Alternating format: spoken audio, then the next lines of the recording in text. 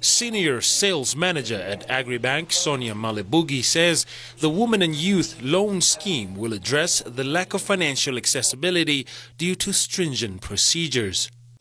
Now, this particular scheme seems to address the issue of lack, uh, lack of access to finance, primarily due to the shortage of collateral or limited collateral, specifically for women and youth, because they are always lagging behind compared to male counterparts or the older generation. So it's for that reason that we revised our products and we came up with a product that is addressing the need of farmers or startup farmers that would like to take up loans uh, for the bank. This new product, she says, aims at financial inclusion, economic empowerment, economic growth, and mostly food self-sufficiency. The, the, qualifying criteria is targeting three groups. Uh, you have the youth, whose age should be between 18 years and 35 years. And then you have the category of women with no age restriction, however, minimum age should be 18 years. And then we develop an extra category for agricultural professionals who are not women, who are also not youth, however, have a specific qualification in agriculture. And they should also be farming on a full time basis.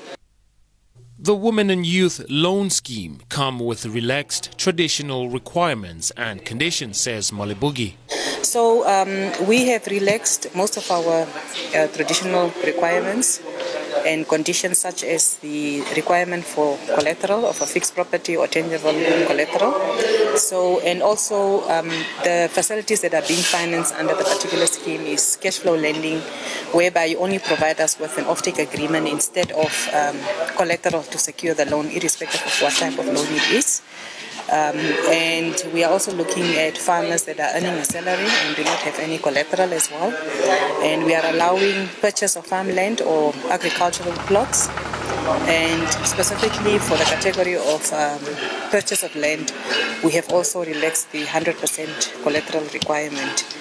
So we are allowing a certain shortfall in order to, to enable farmers to access land.